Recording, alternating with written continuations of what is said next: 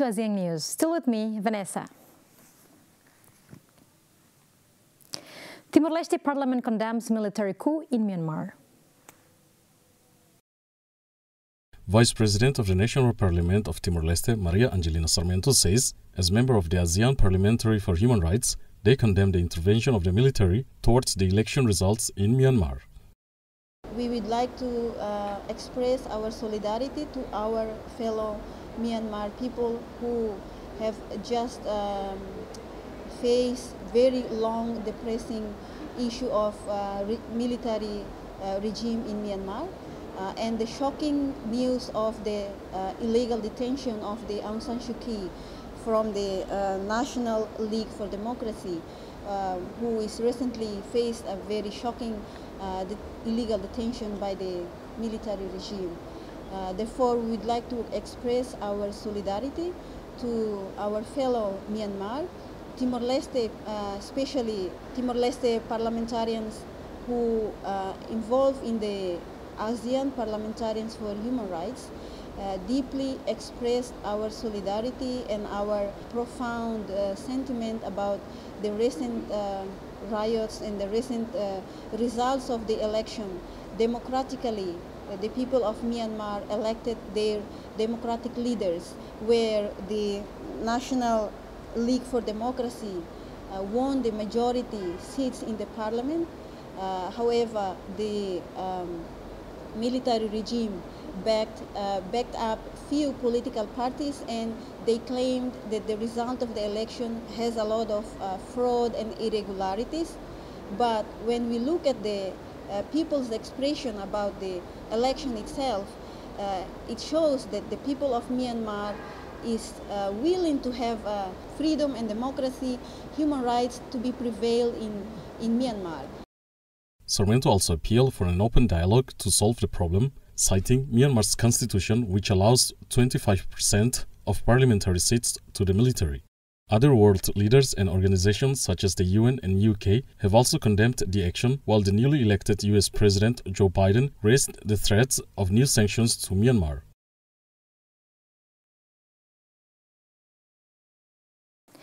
Myanmar citizens staging demonstrations opposing military coup in the country.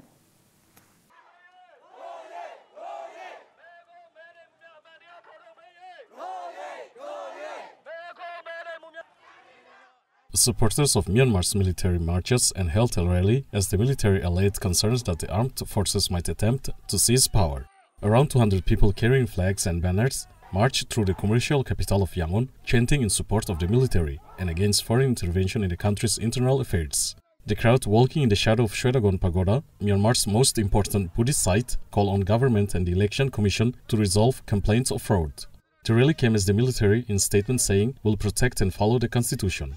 Myanmar's election commission rejected the military's allegation of vote fraud, saying there were no errors big enough to affect the credibility of the vote. The army's repeated allegations of irregularities in the election, in which National League for Democracy win 83% of seats, have led to the most direct confrontation yet between the civilian government and the military, which is an awkward power-sharing agreement.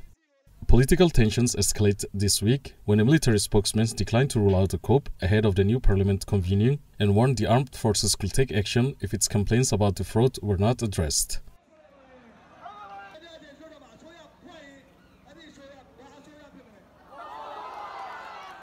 Ruling party spokesman says Myanmar leader Aung San Suu Kyi has been detained by military.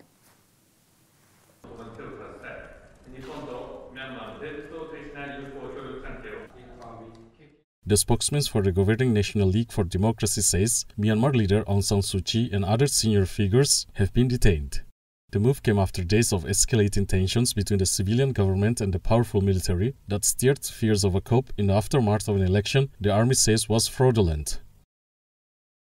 Spokesman Myun Myint tells Reuters by phone that Suu Kyi, President Win Myint and other leaders has been taken in the early hours of the morning. Phone lines to Naypyidaw, the capital, are not reachable. A military spokesman did not answer phone calls seeking comment.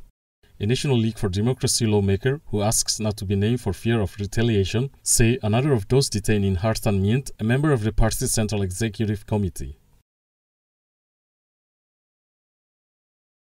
Thailand police scuffle with protester at demonstration against Myanmar coup.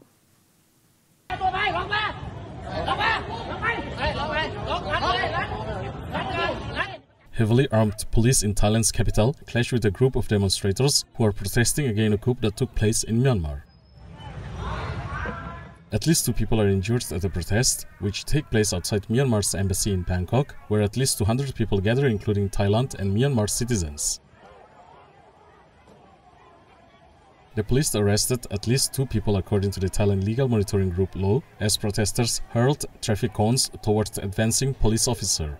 Myanmar's military seized power in a coup against the democratically elected government of Nobel laureate Aung San Suu Kyi, who was detained along with other leaders of her National League for Democracy party in early morning raids. The army says it carries out the detentions in response to the election fraud, according to the statement on a military-owned television station.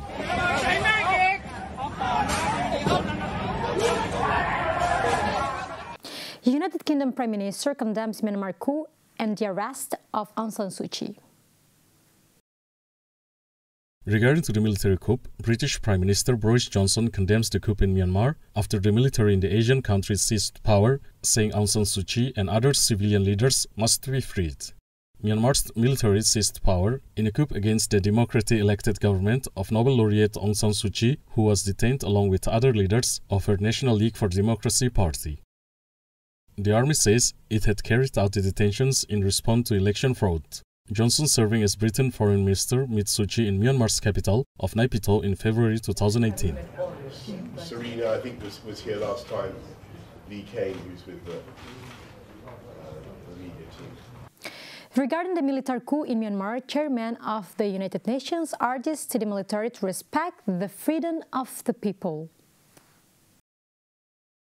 United Nations spokesman says United Nations Secretary General Antonio Guterres strongly condemns the detention of Myanmar's Aung San Suu Kyi and other political leaders and urges the military leadership to respect the will of the people of Myanmar.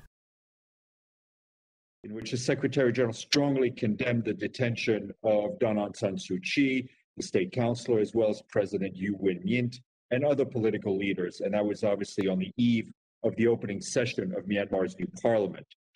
Mr. Guterres said he expressed his grave concern regarding this declaration of the transfer of all legislative, executive, and judicial powers to the military. These developments represent a serious blow to democratic reforms in Myanmar. The Secretary General stresses that the November 8th general election provide a strong mandate for the National League for Democracy, reflecting the clear will of the people of Myanmar to continue on their hard-won path to democratic reform. Mr. Guterres urges the military leadership to respect the will of the people of Myanmar and adhere to democratic norms, with any differences to be resolved peaceful dialogue.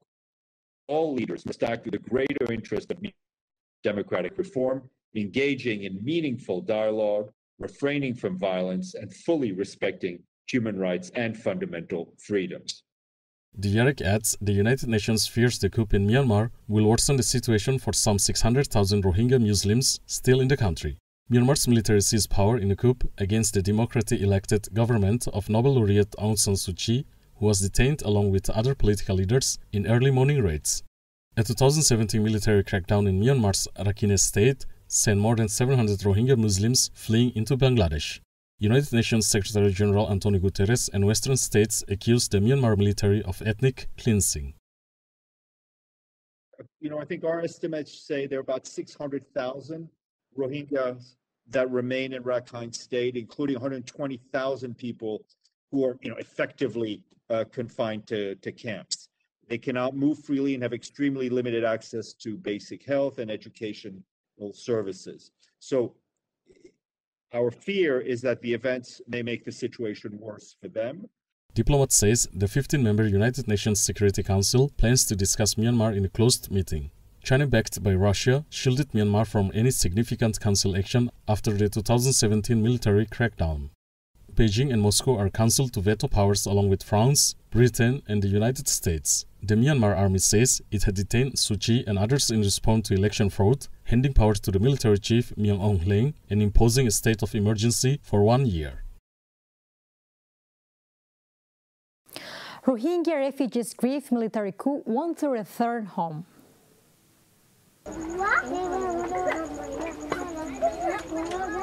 Rohingya refugees who fled violence in Myanmar condemned the overthrow of a democratically elected government by the military in the country. More than 1 million Muslim Rohingya refugees are seeking shelter in camps in southern Bangladesh. They want to return to their home.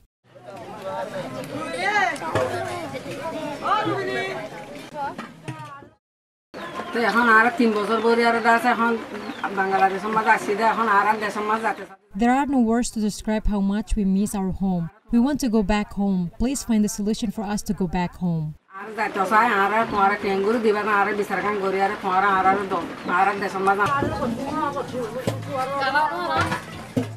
The vast majority of them fled Buddhist majority Myanmar in 2017 from a military which led crackdown that UN investigators says was executed with genocidal intent assertions that Myanmar denies.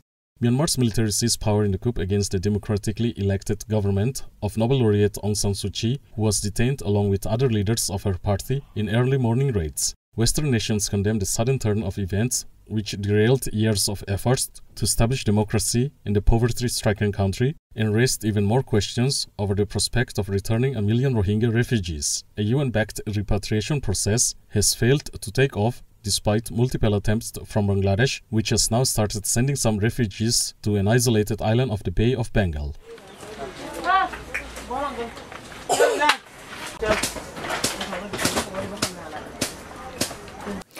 Iran asks Indonesia to explain seizure of tanker accuses of illegal oil transfer.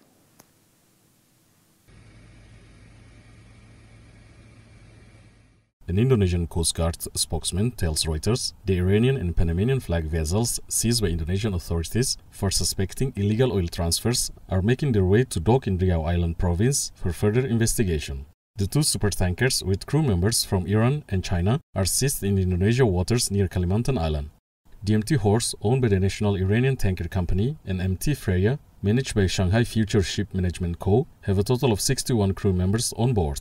The spokesman says some crew remains in the supertankers, but others are detained on Coast Guard ships for questioning while the investigation underway. The ships are caught red-handed transferring oil from MT Horse to MT Freya and that there is an oil spill around the receiving tanker. Iran says that MT Horse is seized over a technical issue and had asked Indonesia to explain the seizure.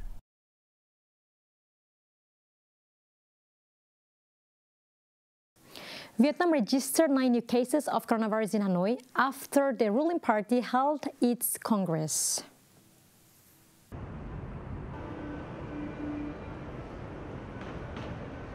Vietnam reports nine more new COVID 19 infections early as the country's first outbreak for nearly two months spread to Hanoi, the capital, where the ruling Communist Party is currently holding its key five yearly Congress. The Ministry of Health says the new cases, including one in Hanoi and eight in nearby Haiphong City and Hai Duong, Quang Ninh, and Bac Ninh provinces, brought the total number of cases in the outbreak to 93.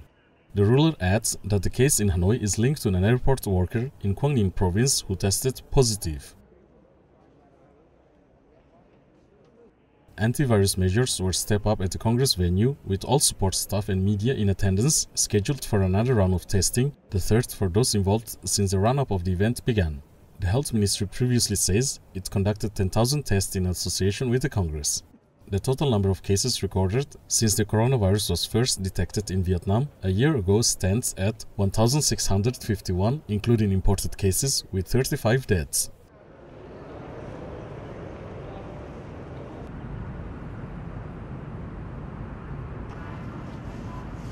South Korea says North Korean nuclear plan only based on ideas never used as an official project.